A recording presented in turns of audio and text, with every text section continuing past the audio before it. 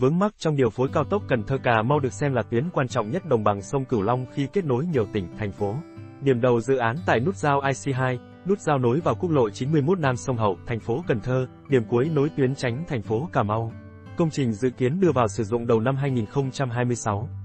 Phần lớn dự án đi qua ruộng lúa, kênh rạch, sông ngoài những nơi có địa chất yếu cần nhiều cát đắp nền.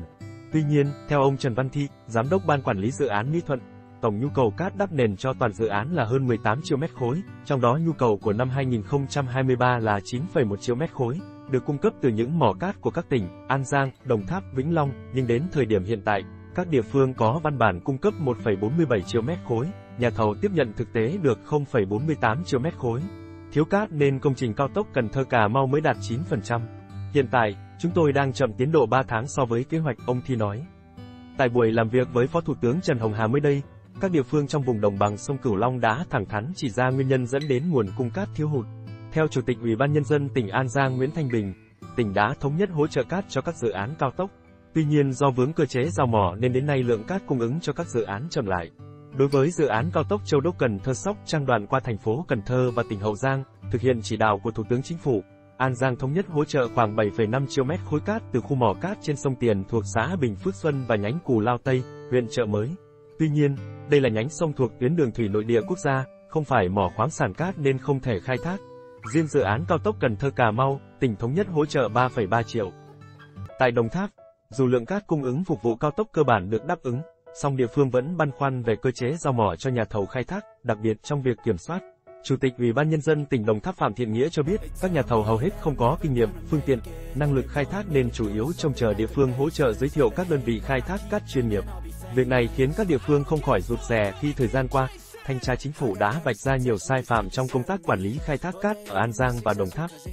Bàn về nguyên nhân dẫn đến cơn khát cát dù trữ lượng cát cao gần 2,2 lần so với nhu cầu của dự án giao thông trọng điểm, nhiều ý kiến cho rằng, mặc dù đã có hướng dẫn của Bộ Tài nguyên và Môi trường trong việc áp dụng cơ chế đặc thù theo nghị quyết số 43 phần 2022, QS 15 ngày 11 tháng 1 năm 2022 và nghị quyết số 44 phần 2022, QS 15 ngày 11 tháng 1 năm 2022 của Quốc hội, nghị quyết số 18, NQCP ngày 11 tháng 2 năm 2022 của Chính phủ. Tuy nhiên nhiều nội dung còn chưa rõ hoặc mỗi tỉnh có cách hiểu chưa đồng nhất khi đi vào chi tiết từng bước, trình tự thủ tục nên lúng túng trong việc thực hiện thủ tục cấp phép khai thác thông qua hình thức cơ chế đặc thù nêu trên. Bên cạnh đó, trong các buổi làm việc, Phó Thủ tướng Trần Hồng Hà yêu cầu đơn giản hóa các thủ tục, nâng ngay công suất 50% ở những mỏ cát đang khai thác, cấp lại giấy phép khai thác các mỏ đã hết hạn, đưa vào hoạt động những mỏ mới phục vụ riêng cho các dự án cao tốc trên cơ sở quan trắc, giám sát chặt chẽ về môi trường. Thế nhưng, trước hàng loạt mỏ cát bị thanh tra, sờ gáy, và tình trạng sạt lở ngày càng nghiêm trọng, nhiều mỏ, ngại, khai thác, tính phương án lâu dài cho nguồn cung vật liệu. Để giải quyết bài toán nguồn cung vật liệu cát và đáp ứng kịp tiến độ các dự án đường cao tốc, các địa phương đề xuất thành lập tổ liên ngành để tháo gỡ những vướng mắc về cơ chế, chính sách, tình trạng pháp lý, trình tự thủ tục thực hiện khai thác cát theo từng giai đoạn, bảo đảm đủ nguồn cát xây dựng cao tốc theo tiến độ được duyệt. Xác định khó khăn chung hiện nay liên quan đến các thủ tục mở mỏ mới, Bộ Giao thông Vận tải, Bộ Tài nguyên và Môi trường cần sớm xem xét, hướng dẫn để áp dụng chung cho các địa phương đúng theo quy định, đặc biệt là về thủ tục đánh giá tác động môi trường đối với những mỏ thực hiện theo cơ chế đặc thù.